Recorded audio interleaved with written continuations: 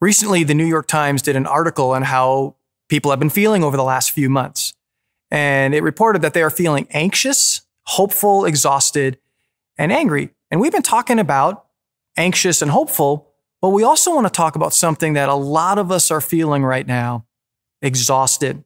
You thought you were tired before all this. I mean, you had your job and carpool, sports and school, just to name a few things. Well, now you've got something people refer to as decision fatigue well, what are we going to do? And where will I work? And what will I do now? And how will we pay for this? And what will happen next? And how do I keep the kids entertained? And because of all this, something begins to happen to your soul.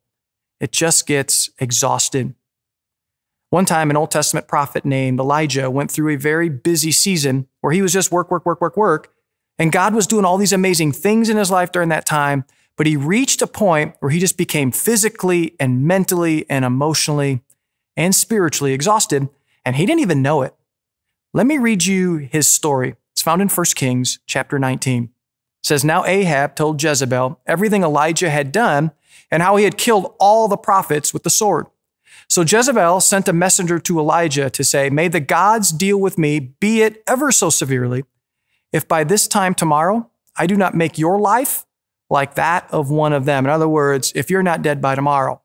Well, Elijah was afraid and he ran for his life. When he came to Beersheba in Judah, he left his servant there, while he himself went a day's journey into the wilderness, which is not where you wanted to go. He came to a broom bush, sat down under it, and he prayed that he might die. I've had enough, Lord, he said. Take my life. I am no better than my ancestors.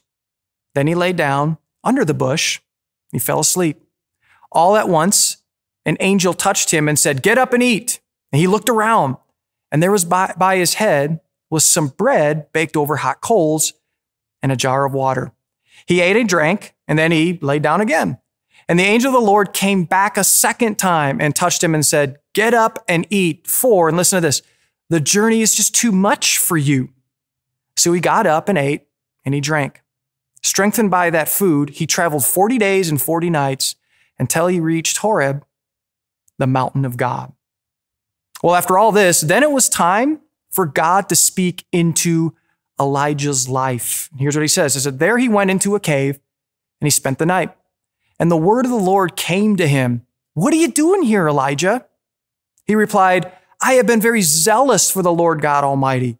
The Israelites have rejected your covenant. They've torn down your altars and put your prophets to death with the sword. I am the only one left and now they're trying to kill me too. And so he's given all these reasons to God. Then the Lord said, Go out, stand on the mountain in the presence of the Lord, for the Lord is about to pass by. Well, then a great and powerful wind tore the mountains apart and shattered the rocks before the Lord. But the Lord was not in the wind. After the wind, there was an earthquake, but the Lord was not in the earthquake. After the earthquake came a fire but the Lord was not in the fire. And after the fire came a gentle whisper. I want you to notice this about Elijah's story. Elijah reached a point where he was so exhausted that he wanted to die, which is actually one of the signs of extreme exhaustion. But God gave him a few gifts along the way. One of the gifts was he was able to sleep. And then he ate. Then he slept some more, and then he ate again. And it was only then did he hear from God in that still, small voice. You see, God will never speak over the noise in our lives. And so, can I encourage you to do something? Take time, and I know we, it seems like we never have time, but take time to rest. Take a nap, which a friend of mine once told me is one of the most spiritual things you can do.